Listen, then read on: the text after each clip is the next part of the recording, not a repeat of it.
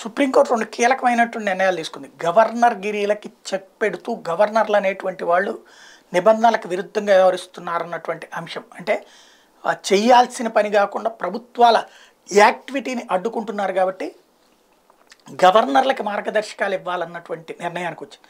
రెండో వైపున ఇంకొక కొత్త వ్యవస్థ కూడా శ్రీకారం చుడుతోంది. అదేంటంటే మత ఉద్రిక్తతలు సృష్టించేటటువంటి ప్రకటనలు ఇట్లాంటి వాటి మీదన కొన్ని చోట్లేమో తప్పుడు కేసులు పెడుతున్నారు కొన్ని చోట్లేమో నిజంగా ఉద్రిక్తతలు జరిగినా కూడా పట్టించుకోవట్లేదు. కాబట్టి తామే ఒక వ్యవస్థను తయారు చేసి దేశవ్యాప్తంగా అమలు చేసే ఆలోచన పరిశీలిస్తున్నాం దాని గైడ్ లైన్స్ని ఇస్తాం అని చెప్పుకొచ్చింది సుప్రీంకోర్టు. అంటే చట్టాలు చేసే పనిని ఇప్పుడు సుప్రీంకోర్టు తీసుకోబోతోంది.